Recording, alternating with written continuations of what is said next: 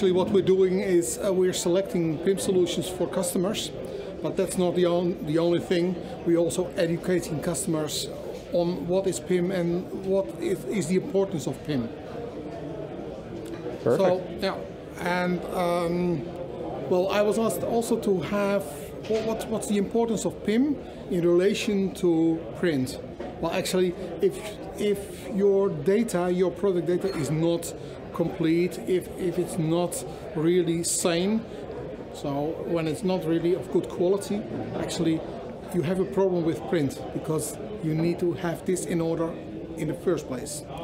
And actually it doesn't matter if you are in physical print or on PDF or whatever, whatever kind of print because everything needs to have this good product data.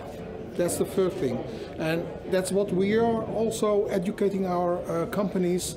Um, make it ready, make your data ready. So you have to uh, governance governance this very good in your company. It's not just one person entering some data, but it's really a good uh, organization. Uh, you need to have to to make this data correct.